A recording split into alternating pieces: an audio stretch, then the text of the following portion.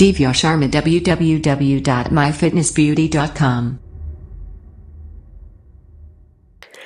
Hello friends welcome to my YouTube channel मैं हूँ दिव्या शर्मा।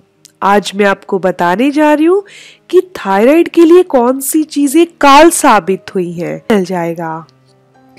अब बात करते हैं थायराइड के लिए कौन सी चीज़ें काल है। जिनको भी थायराइड की प्रॉब्लम है, वो चाहे हाइपर थायराइड हो या फिर हाइपोथायराइड आपको क्या करना है? चाय जब भी पी रहे हैं तो उसमें एक चुटकी काली मिर्च ज़रूर मिलाएँ।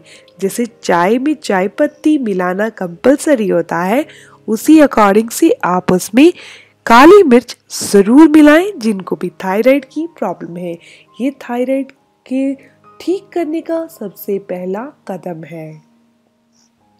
उसके अलावा आपने क्या कर सकते हैं कि आप सुबह और शाम आधा आधा चम्मच आंवला पाउडर लेना है आपने। उसको शहद के साथ आधा चम्मच शहद, आधा चम्मच आंवला पाउडर, आप इसे सुबह शाम लें। ये थायराइड के लिए बहुत अच्छा ट्रीटमेंट है। इसके अलावा आपने दही में आधा चम्मच भुनी हुई और पाउडर बनी हुई अलसी और तीन से चार पत्ते तुलसी के मिलानी है और इसे खा लेना है। ये आपको लंच टाइम में लेना है। ऐसे लेने से थायराइड में मदद मिलती है। इसके अलावा थायराइड को ठीक करने में हल्दी वाला दूध बहुत परफेक्ट है और जो मैं हल्दी वाला दूध आपको प्रेफर करती हूँ, वो जो हल्दी लस अदरक के टाइप की होती है, जैसे कह सकते हैं कि जो पाउडर के रूप में न होकर अदरक जैसे होती है, उस हल्दी को ही आप यूज़ करें, जो कि थायराइड के लिए बहुत बढ़िया है। इसके अलावा आपको कभी भी थोड़ी सी मुलट्ठी चबा लेनी चाहिए, ये गले के लिए बहुत बेनिफिशियल होती है थायराइड के लिए बहुत बेनिफिशियल होती है। जैसे नॉर्मली मुँह में इलायची रखते हैं, इलायची के दाने जितनी ही आपको मुलट्ठी चबानी है, दिन में एक बार कभी भी चबा सकते हैं।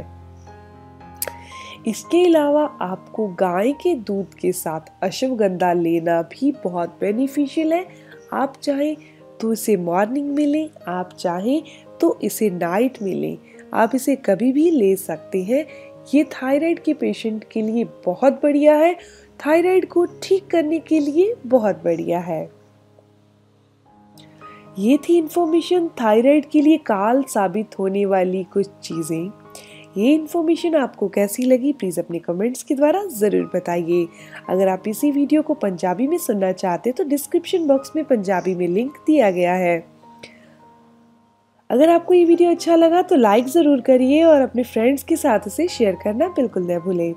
अगर अब तक आपने मेरे चैनल को सब्सक्राइब नहीं करा तो सब्सक्राइब कर लीजिए, ताकि मेरी आने वाली वीडियोज़ की इन्फॉर्मेशन उसके अपडेट्स भी आपको मिलते रहे।